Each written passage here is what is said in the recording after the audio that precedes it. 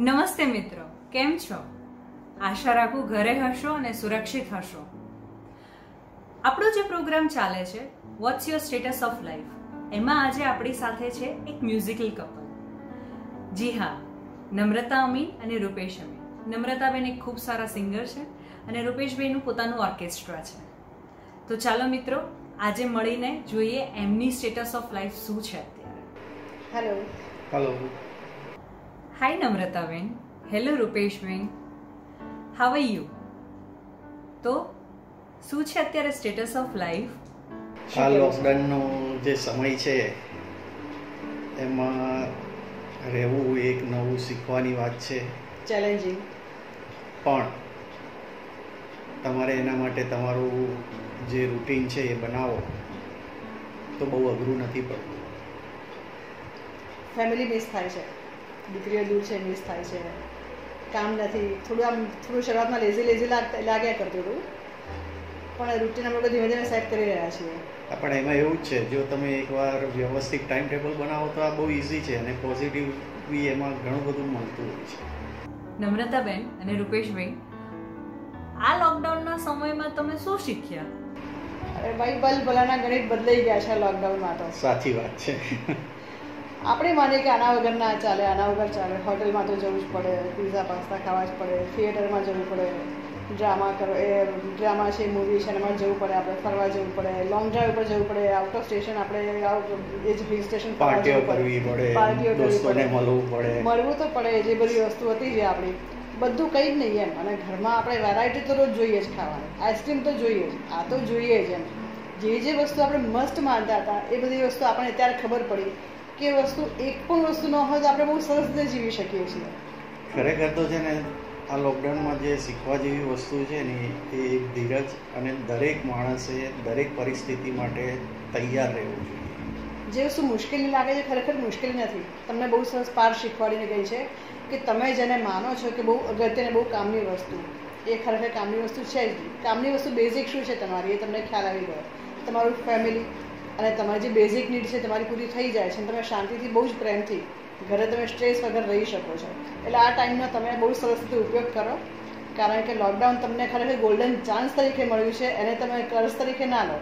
એને તમે વરદાન તરીકે લો કે ખરેખર મારે જે વસ્તુ કરવી હતી, નથી કરી શકતી કે નહોતા કરી શકતા, સમયના અભાવે, એ બહાનું હતું. સમય આપ્યો છે. કરો.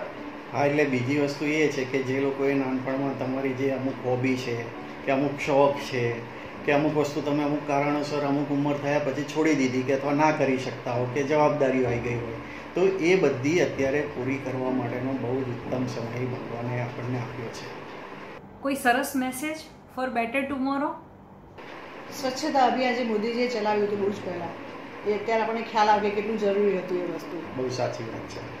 દિવસમાં આપણે હાથ આપણે ઘણી વાર ધોતા જ ન હોય કે નાહવાનું ગાપચી મારી દેતા હોઈએ કે બેઝિક વસ્તુ હતી જે ટોયલેટ લોકો ઘરમાં રહેતા હોય સાવતા બધું લોકો કરતા થાય છે સારી વાત છે. એટલે આપણે હેન્ડવોશ કરતા રહીશું ઘરમાં અને જ્યાં પણ આપણે હોઈએ, બહાર ગયા હોઈએ, આપણી આસપાસ આપણે સ્વચ્છતા, આપણે આપણી સાથે આપણી સ્વચ્છતાને લઈને ફરશું.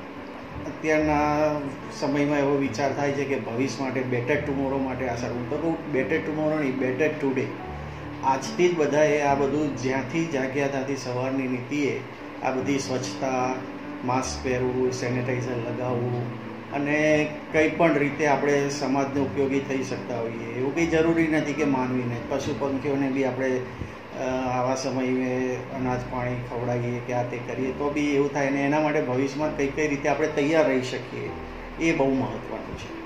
અને ખાસ વાત, ઘણા સંબંધો એવા છે કે જે આટલા વર્ષોમાં આપણે પૈસા કમાવા માટે કે ફેમિલીને આપણે એની સાથે ભાગદોડ ભાગદોડમાં આપણે ઘણા સંબંધો ભૂલતા ગયા છે. નાનપણના મિત્ર હોય કે દૂરના આપણા સગા સંબંધીઓ હોય એ લોકોને ભૂલતા ગયા છે. તો એ લોકોને પણ આપણે બેટર ટુમોરો માટે આપણી લાઈફમાં આપણો ખજાનો માત્ર પૈસા નથી, આપણા સાચા સ્નેહીજનો પણ છે. તો આપણે એ લોકોને ફરીથી આપણી લાઈફમાં લાવીએ, એમના કોન્ટેક્ટમાં રહીએ આપણે. એવું પણ, એ રીતે પણ આપણા માટે પણ સારું છે. નમ્રતાબેન અને રૂપેશભાઈ મારે એક સવાલ પૂછવો હતો તમને.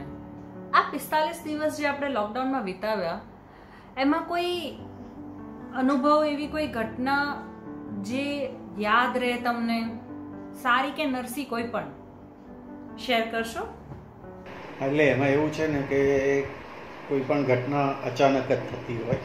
એટલે પહેલું તો આ જે કોરોના લોકોને થયો છે, એની કોઈ દવા કે એવું કંઈ છે અને એમાં જો આપણને ખબર પડે કે આપણા બાજુવાળાને થયો છે, જે ઉચ્ચ સમજીને બહાર ફરતા હતા બેકાળજી રાખ્યા વગર, કે ભાઈ મને તો કશું થાય જ નહીં, આમ તેમ. મને આપણે જોતા હોઈએ બે જ ત્રણ મિનિટમાં કે અડધા એક કલાકમાં પછી એમને આને લઈ જાય.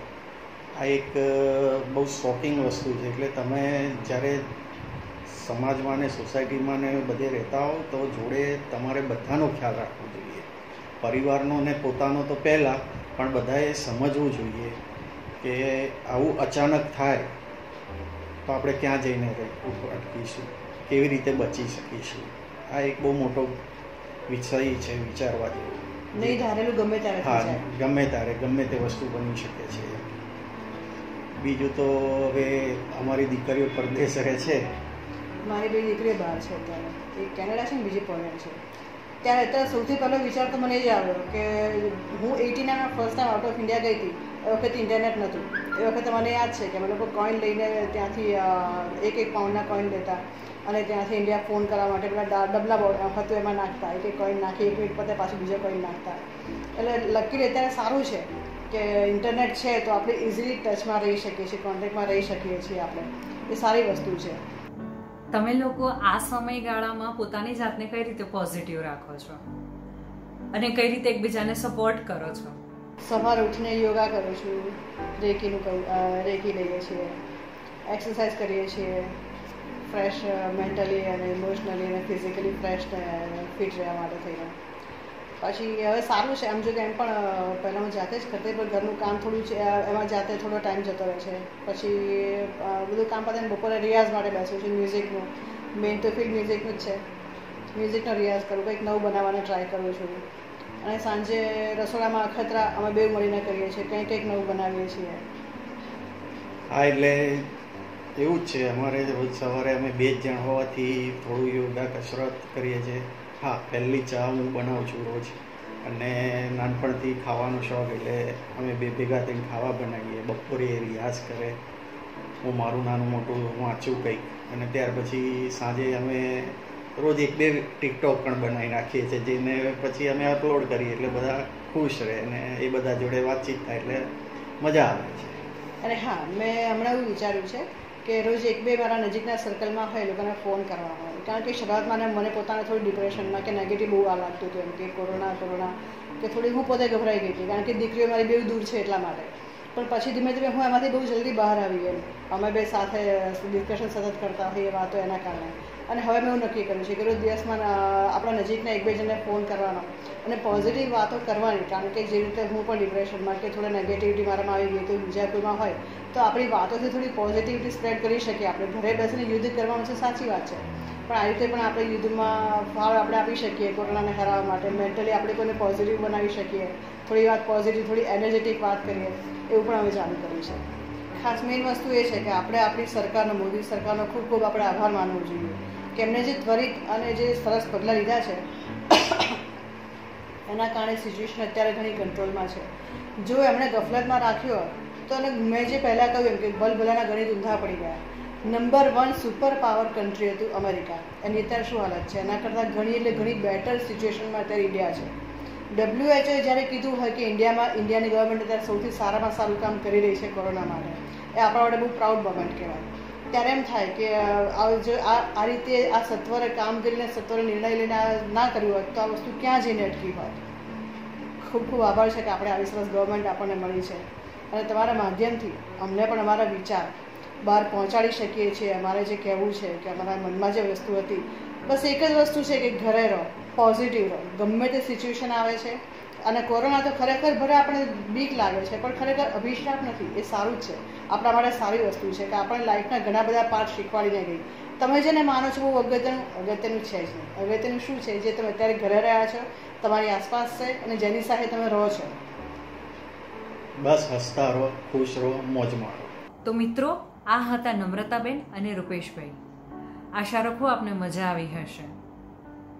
બસ, ઘરે રહેજો, સુરક્ષિત રહેજો, તમારું ધ્યાન રાખજો, તમારા પરિવારનું ધ્યાન રાખજો અને સરકારની ગાઈડલાઇન્સને ફોલો કરજો. આભાર.